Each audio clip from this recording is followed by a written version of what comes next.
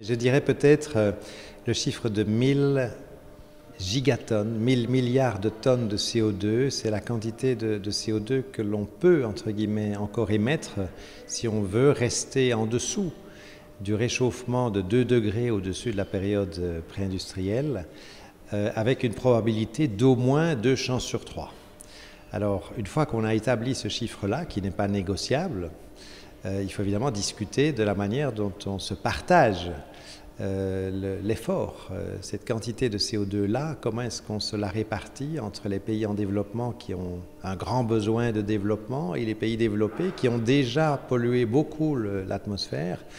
et qui devraient émettre le moins possible à partir de maintenant.